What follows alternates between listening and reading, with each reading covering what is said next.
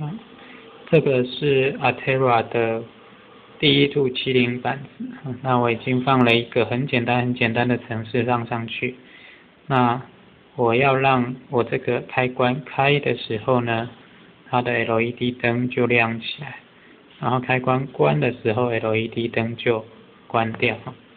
那请注意，这不是理所当然的哈，这是因为我们有烧入程式在里面，否则的话，你看这个第二个开关开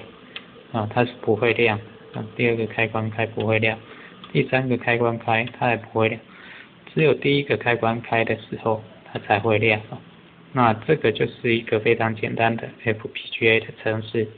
已经烧入到板子上的结果。